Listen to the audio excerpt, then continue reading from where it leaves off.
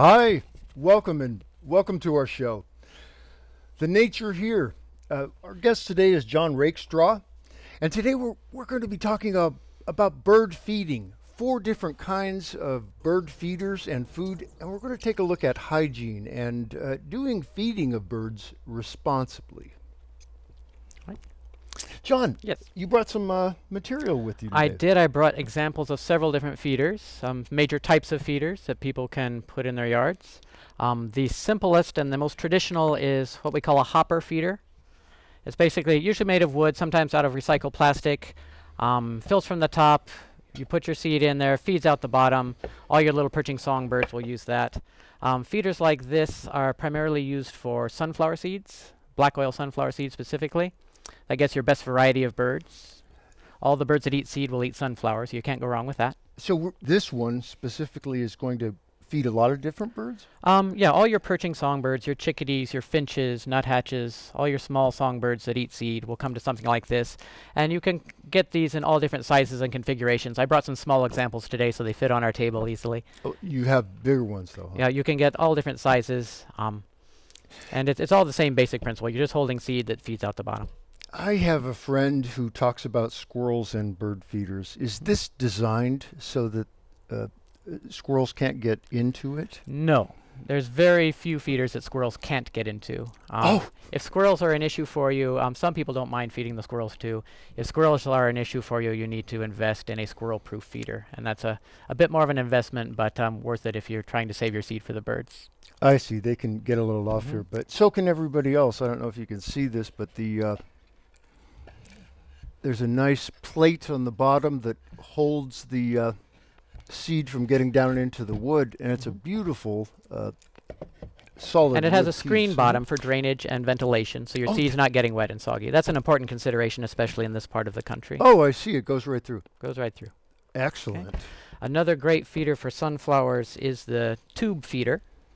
Um, they come in again all shapes and sizes too, but it's basically a polycarbonate tube, metal feeding port, so if a squirrel gets on it, he's not going to destroy it. Mm-hmm. And what I like about the tube feeders is, the uh, birds are perched on the outside, so you can see them easily. Mm-hmm. Um, they're basically indestructible. You get a good one with a lifetime warranty, and it's the last one you'll ever have to buy. Mm. So fairly easy to clean, easy to see the birds. You can add a tray to the bottom if you like. You can add a dome to the top for weather protection if you like. So it's a very versatile feeder. Wow. Backyard uh, bird feeding is uh, it's a it's a great way to enjoy wildlife, uh, as well as a, a you know an opportunity to help support the native bird species that are of course impacted by we being here. Uh, According to recent uh, census reports, over 65 million Americans, young and old, uh, do give birdwatching a try.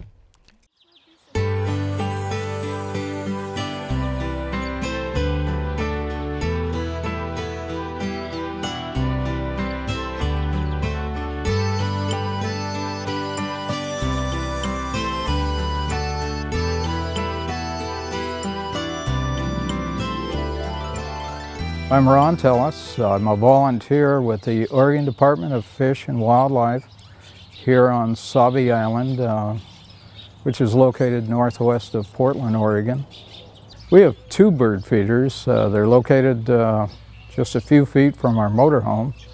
And basically, where they're set up is right out uh, the bedroom window. We attract, uh, oh, basically about four local birds. You have the red-winged blackbird, uh, the common house sparrow, and then the American goldfinch and grosbeak. We also uh, attract two of the doves, the mourning dove and the collared dove. Uh, on occasion, you'll see a yellow-headed blackbird um, and also the rufous-sided towhee or spotted towhee today. Um, and on occasion, there'll be a, a little hawk that flies in and stirs up the whole bunch. We, uh, in the one feeder, uh, we have uh, sunflower seeds, and then in the, uh, for the finch, we have thistle seeds. It can get a little expensive. You buy it, the sunflower seeds come in 40 pound bags. Uh, to be honest with you, I don't know how much they cost. My wife buys all the bird seed. And then the, uh, the thistle seed, oh, you replace that twice a day. Um, And then the, the sunflower seeds, you can replace that also twice a day. Sauvie Island is a wildlife area, and mainly for um, uh, the birds, ducks, geese. Uh, there's deer on the island, but uh, a lot of birds, thousands of birds, uh, including uh, bald eagles, uh, certainly the ducks, the geese, and then you have oh, sandhill cranes. So it just offers a, I am not an expert bird watcher, but uh, you do get hung up in trying to identify what shows up, to watch them scramble over the food, chase one another. Uh, the little fights tend to be between specific breeds. Uh, the house sparrows chase the house sparrows and the doves chase the doves. But uh, on occasion they'll get crossways with each other and a little house sparrow will chase a dove. But it's just interesting to see the interactions of all the birds. We've had, uh, had as many as uh, 75 of the goldfinch on the ground uh, beneath the bird feeder. So they come in, in vast numbers. Well, we got here in, uh, in March, and this is our first year at this location, so it, uh, it's all a new experience to us. I think earlier we discussed, you know, why here, and the, the bird feeders are just very near the motorhome. And mainly because uh, binoculars are expensive and you don't need one. Uh, they come right in and it's, uh, it's very enjoyable. I think that um, uh, they become accustomed to you being coming and going. Now, if you get too close to the feeders, they all disperse. But uh, we've got some chairs and we can sit in those as long as we're not too close. And then you can take pictures. I've got probably several hundred pictures now of the birds as they come and go. But uh, with the advent now of the electric camera, you can take all the pictures you want. So uh, it's fun just to sit and relax and watch them and, like I say, see the interaction. Why do I like birds as opposed to the other animals? Well, I certainly like all the other animals, but uh, uh, we had a skunk show up one after or one evening. Uh, I don't know if I want to attract too many of those. Uh, you certainly don't want the deer here, but they do come. And uh, but the birds are easy to attract, and uh, they're non-threatening no matter what species shows up. Most of the mammals, those type of things, just will not come around as long as you're here. And but the birds just offer a, a treasure trove of activity, colors, numbers, the variety. Be the only reason. I can't reject any animal. I mean, you'd like to see them all. But uh, as to attracting them, it's just much more easy to focus in on the birds, provide a place for them. And uh, we'll stick with that for a while, I think. My advice to prospective birders or anyone that might be interested is to certainly get a good book on birding so you can identify uh, the various species. It's easy to get confused. I thought I was looking at a spotted towhee for days and then it turns out it was uh, a grosbeak. And I finally found that I was off guard, or when I was taken off guard, and that the female grosbeak, uh, I couldn't identify her uh, when I thought she was a spotted towhee. So it, uh, it just is very helpful. Get a good book and, you know, even join a group, go on walks uh, with groups and learn what you can. And uh, it's a good pastime and it's relaxing, non-threatening, just a fun way to go.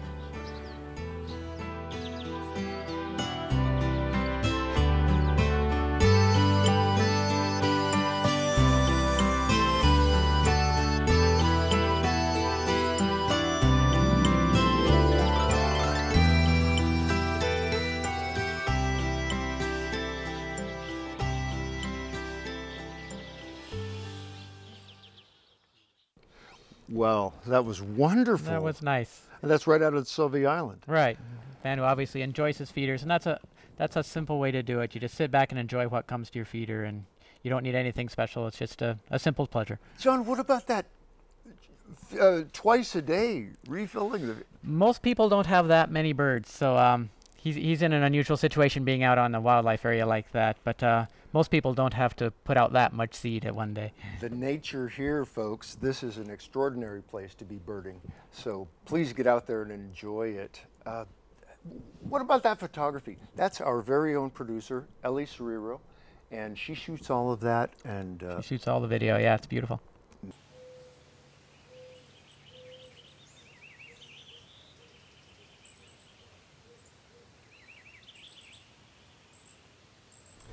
Oh, there's a uh, young dark-eyed junco and a chestnut-backed chickadee. Notice that feeder is a block of seeds held together with gelatin, so Mm. it's, rather than loose seed. It's a little more convenient way to do it. I think that's a spotted towhee hiding behind the maple there. There he is. See the white spots on his back. oh yes, and they are agile enough to reach in there and get They it. are. That's the cylinder feeder. Yeah, there's a chickadee again. That looks like a black-capped chickadee. And There's the dark-eyed junco adult instead of that dark hood. Mm. Yeah, it looks like both an adult and a juvenile junco there. Yep, getting fed. The seed's right there, but it's better when mom gives it to him. Are they hospitable to each other? Various breeds around. Uh, Generally, you'll see bickering, but um, as long as there's enough food, there's, they get along pretty well. Or they'll take turns. Sometimes if a larger bird is at the feeder, the little birds will stay on the background until the bigger one leaves, and then they'll all come in.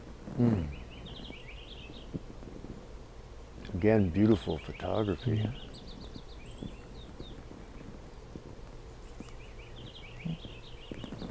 Again, the little one is standing on the seed, but uh, he prefers to be fed. Oh, I see that now. He's actually. Be, is that a young one? Yeah, the one in front is the stripy one is the young junco, and uh, the parent has the dark hood. And assisting, Yes. helping. Mhm. Oh, there's a black-headed grosbeak, very striking. I will say, I have never seen a bird like that before. And they get their name from their bill. It's a very thick bill. It's designed for cracking open big seeds. Grosbeak. Oh, I see. There's the female, not quite as blatantly patterned, but still a beautiful bird.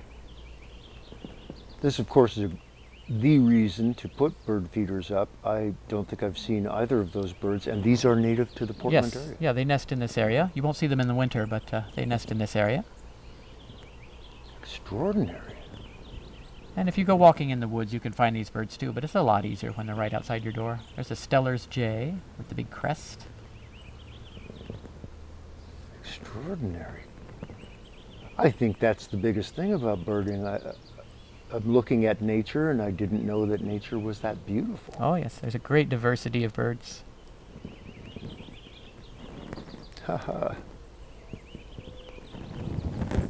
he has figured out gravities. Right. You notice he's uh, collecting a lot of seeds. He's storing them in his crop, that little pouch in his throat, and then he'll take them somewhere and hide them for later. That way, then, so if he runs into some bad weather, he's got a stash take care of him through the bad weather. Truly, I didn't know that about birds. Jays especially will, will hide food, will store food for later. And many trees are dependent on jays taking their seeds and burying them, and that's how the tree is replanted. Oh my goodness. The things we need to learn about birds. Beautiful. I had never seen birds so. Isn't that beautiful? Do you keep binoculars, or you must? I do. I have a binocular close by, um, but my feeders are about five feet from the window, so even without the glasses, I can see uh, see the birds pretty well. I'm going to be telling this story the rest of my life. They're for you. That's what the feeders are for. Extraordinary.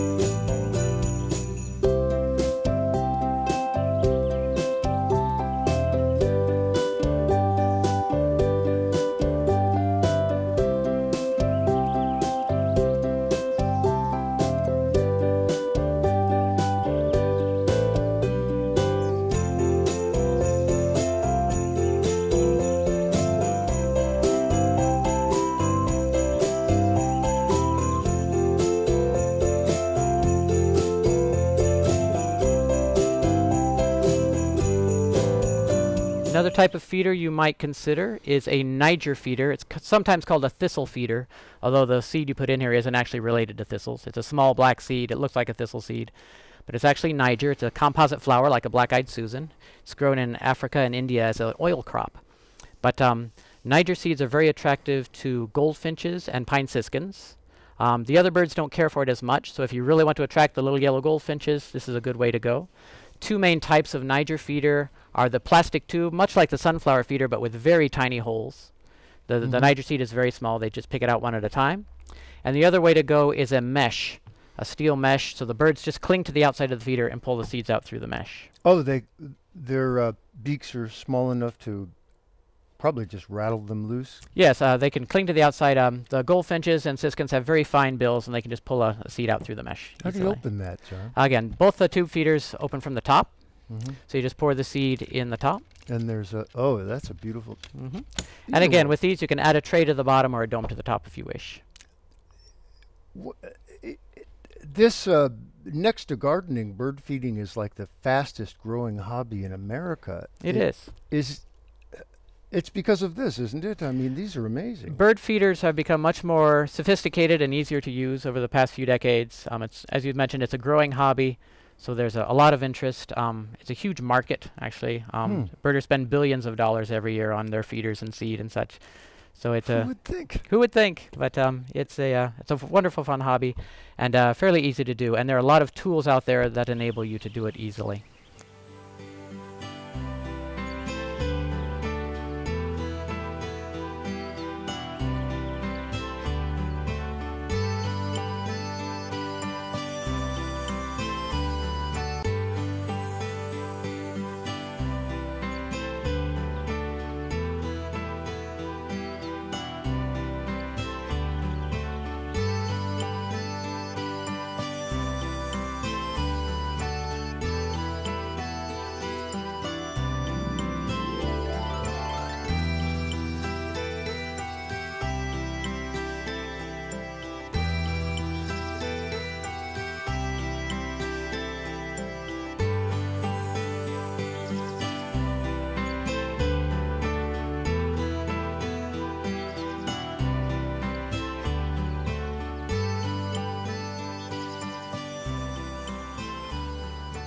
There's a house finch eating a Niger seed from a sack, and there's an American goldfinch. Mm. The sacks are like that mesh feeder I showed you, just uh, nylon mesh instead of the steel, but works under the same principle. I see. There's the female American goldfinch, a little more sedate. Hmm. Gorgeous. Mm -hmm. There's house finches and a goldfinch eating the Niger. So it's a it's a bit like uh, if you build it, they will come. Very much so. Yes, if you put out food in a safe area for them, they will find it eventually. But sometimes it takes a while. If you put up a new feeder, I tell people it takes anywhere from six minutes to six months for them to find it. Wow. But uh, once they do, they tell all their friends, and soon you've got a wonderful show like this. They tell all their friends. It's amazing. Welcome back to the planet Earth, folks. Get yes. get involved. Enjoy it while you're here. Mm. Are we looking at the back coloration? Is that That's the female. The darker bird is more olive green on the back. Mm. And the male is a bright yellow this time of year. In the winter, he will look much like she does now. There's the house finch. The male has a lot of uh, kind of a brick red color to the face and upper breast. The female is more of just a brown stripy bird. Just extraordinary. Now, these birds, uh, they're fairly small, the ones we're looking at. Yes, they're a sparrow size, small sparrow size. The finches are quite tiny, actually. I'm getting the sense that we see birds coming and going. They're so small that unless we invite them to stop, right, we might not see the colors. That's very true. That's very true. If you provide a, a place with food that they're going to come back to repeatedly, you have just a much more opportunity to watch them. Looks like we're having a little political. There's a little tussle going on, and that's not unusual. They usually work it out. Hmm. Another group I'd like to show you.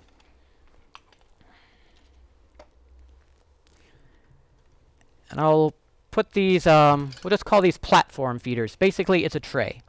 Um, this particular one is mesh again, so the water can drain through and the seed can remain, uh, air circulation can go through it. Um, it's a flat tray. The advantage of something like this is you can use any type of seed you want. Um, the birds will come, they will pick out what they like. Mhm. Um, it's attractive to ground feeding birds like the juncos and sparrows and towhees, doves, things like that that might have trouble on a little uh, sunflower feeder. Oh, I see.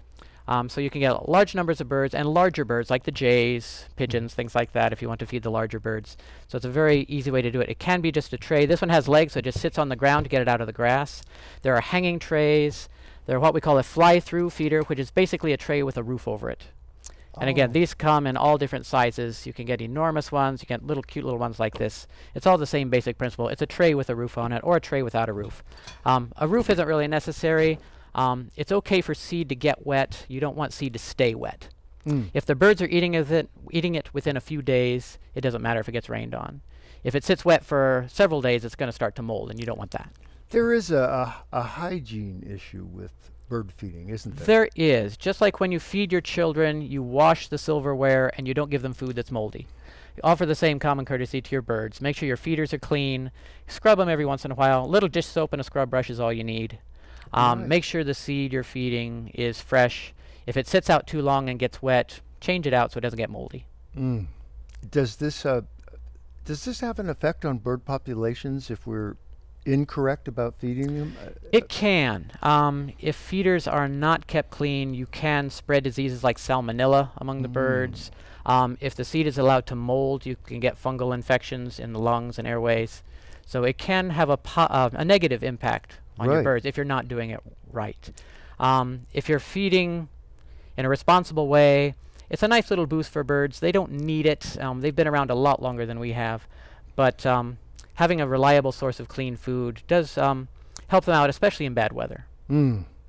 Yeah, uh, is there a need? I mean, why should we feed the birds? Um, the main reason to feed birds is to enjoy watching them. Oh. They, they've been around much longer than we have. They don't need us. We like to think we're essential, but we're not. um, you feed birds so you can enjoy watching them from the comfort of your home. Mm. Now, what about that? Are are homes? Is it natural for a bird to come near a home? Is there anything you can do to make a home more attractive for birds to come? all animals need food, water, shelter, and space. So if you're offering at least some of those, the birds will take advantage of that. Mm. Food, easily enough. Um, water, a source of water is a nice addition to your yard. Um, cover, shelter, um, shrubs, trees, nesting boxes sometimes. Now, I imagine, John, uh, that folks, birding is an extraordinary environment, and y- you might not be able to tell from the camera angle. This looks like wood. It's actually recycled plastic. That's recycled plastic, yes. Yeah, so uh, uh, the craftsmanship here at the table is extraordinary, and uh, it's just another sign about, uh, you know, the love that people give to birds and, and to the life of birding, I suppose. Uh, someone told me that uh, we can double the number of bird species in our yard by providing a source of water. Water is very important, especially in this time of year during the dry season. Um, a simple bird bath is fine. Shallow is better. You don't want to offer deep water. Birds want to wade, not swim. Oh, they want to go into it. Yeah, so they'll often they'll not only drink but they also bathe. Um, clean feathers um, provide better insulation Oh. and better protection for them. So shallow water, um, kept clean again. Um, hose it out every couple of days so you don't get algae growing in it. You don't get uh, a lot of feces collected. So uh, fresh, clean water, just like fresh, clean food. Well, this is great. I mean, there's a sense that this is not a uh, tourism thing. You actually have a relationship with the birds in your neighborhood, and and uh, you want to care for them like you do for your home. Uh, It's great, John. Uh, are there any safety concerns that people should be aware of when they're feeding birds? We've mentioned hygiene. That's probably the most important thing. Hmm. Um, it doesn't. You don't have to be too meticulous about it, but um, just be aware of the condition of your feeders. If it starts to look a little grungy, it's time to clean it. Mm. Um, if you see sick birds at the feeder, um, that's an indication that something might be amiss. Um, if you see one sick bird, just give your feeders a clean, and uh, It might just be a sick bird. If you see more than one sick bird, chances are you've got a problem. You should take your feeders down, clean them thoroughly, and maybe stop feeding for a week or so. Let your birds disperse so they're not concentrating, spreading diseases among each other. Right. Then put out fresh, clean seed. They'll come back. Oh, give it a little gap so that Little they can see that yeah. there's something going Let them disperse a little bit. It's very exciting. I imagine uh, I'm thinking of the binoculars that I want to get looking out the window and seeing that bird up close. Another um, consideration for safety is um, introduce predators, and by that I mean house cats. Um, you don't want to put a cat feeder in your yard. You want to feed the birds. So if neighborhood cats are roaming loose, um, be aware of where your feeders are placed. Cats hunt by sitting still and then pouncing. So a Mm. bell around the neck does no good whatsoever. So Mm. you want the area under your feeder to be relatively clear so there's no place for a cat to hide. Oh, If you have to have your feeders close to a shrub or some ground cover, either erect like a knee-high fence between the shrub and the feeder, so there's a little barrier there that the cat would have to jump over. oh, that's amazing. Uh, right, space between the shrub and the feeder. You Right. want space so the birds so the birds can see the cat coming. Wow. And another thing you can do to discourage cats is to take rose canes or blackberry canes, lay them flat on the ground under those shrubs where they like to hide, so it's an uncomfortable place for the cats to be. Oh my goodness, and they'll know. they'll, they'll figure that out, yeah. sharp eyes, these guys. Uh, what kind of? Sh- I think of when I see the bird feeders. You know, you mentioned the roofs for the feed. Mm-hmm. What kind of uh, shelters can we build for our backyard birds? Um, natural shelter is best. Um, shrubs. If you don't mind having a brush pile on the corner of your property, the birds love brush piles. Trees of various heights. Um, if you have a little, if you have a large enough yard, a, an area that you let grow up a little bit, so it's a little brushier, Mhm. the birds really enjoy that. I'm kind of a pr- pr- procrastinator. I didn't know I was helping. You're helping things out by being lazy. Yeah.